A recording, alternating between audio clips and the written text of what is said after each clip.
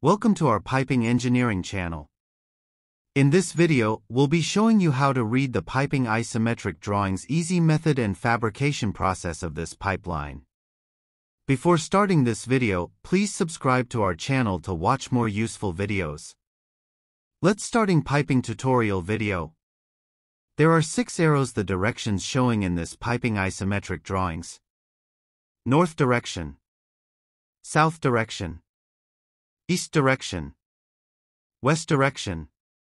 Up direction. Down direction. The person reading the drawing should imagine himself facing north, provided that he is in the center of these directions. We will start to read this pipe drawing from this point. The pipeline starts from this flange and extends to the downwards. In this point the pipeline first turns to the eastwards 90 degree elbow then turns southward. Then the pipeline turns to eastwards with a 45 degree elbow. At this point, the pipeline turns to the southwards with a 90 degree elbow. And reading piping isometric drawing successfully completed. By watching the 3D view of this pipeline, it will be easier to read and understand the isometric drawing of this pipeline. By using this method, you can easily read and understand any piping isometric drawings. Now we will watch fabrication process of this pipeline.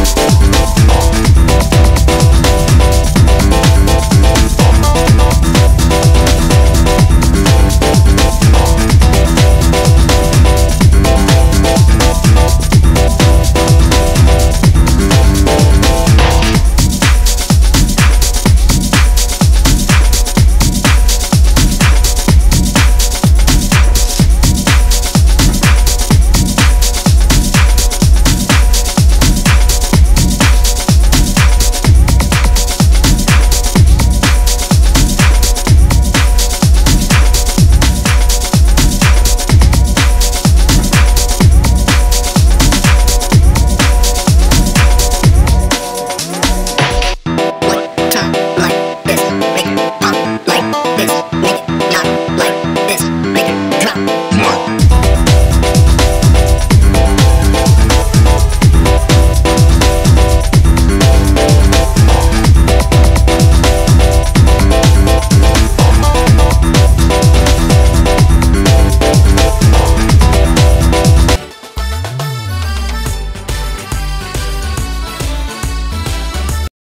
This tutorial video is finishing here if you liked our video, please subscribe to our piping engineering channel.